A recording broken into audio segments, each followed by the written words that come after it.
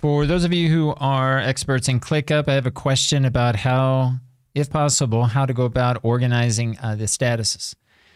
Now, uh, I'll start by acknowledging a few features that I, I like. Uh, I like to uh, I like the ability to add columns on the fly and be able to sort those. I think that's a great way to also sort the tasks that uh, as they appear in the different types of views. I also acknowledge that the space level you can organize uh, the statuses uh, and have those reflected in each of the views. So if I were to move uh, the to do status, that change will also be reflected in uh, the views as they appear here. So again, great features, no issues there. My question is, I'll go back and change this as it was by default. And my question here is if I go to the board view, for me, it's very logical to follow along and move tasks from left to right as, they, as I go through the process, moving from the inbox to do, in progress, review, and so on.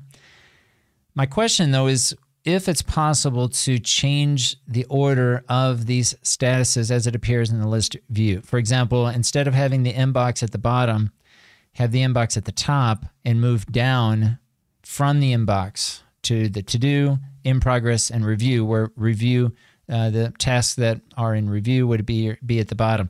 So my workflow would move from top to bottom instead of from bottom to top. That's really my, my question. At first glance, I don't see an option to do that.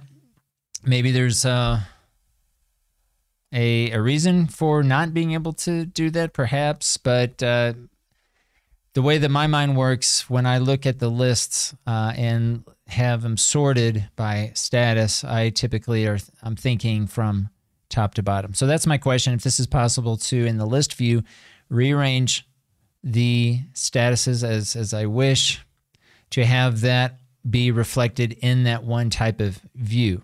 Maybe it's an option to add an additional view, and maybe it's possible then to change the order uh, of the statuses. But again, still fairly new to ClickUp. So that's my question. If you have any suggestions, please respond wherever you find this video. Thanks.